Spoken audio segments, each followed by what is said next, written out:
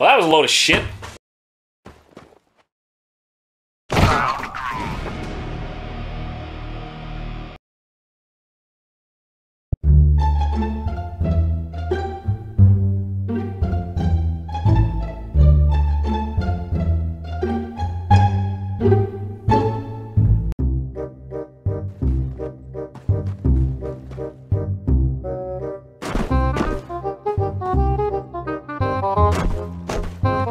Thank